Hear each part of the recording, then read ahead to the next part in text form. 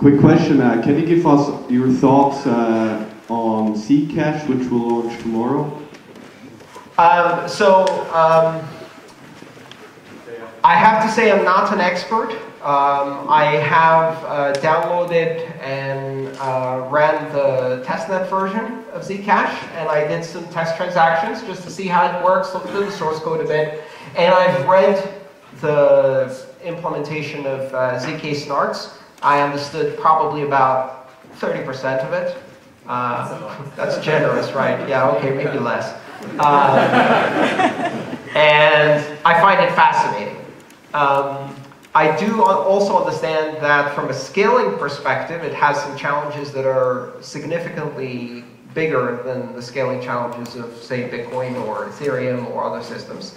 Um, but I also understand that it works very well collaboratively with many other chains. So I would love to see um, Zcash as a sidechain. I would love to see it as part of the ecosystem. One of the interesting things that's happening now is as you have an ecosystem of blockchains developing, you can borrow features from each of them, or you can use their features temporarily.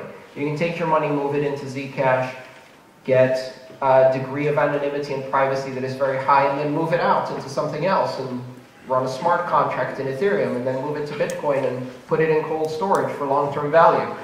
Um, you know, it's all part of the ecosystem and we all benefit from these inventions. So I'm excited to see how it goes. I hope it goes well.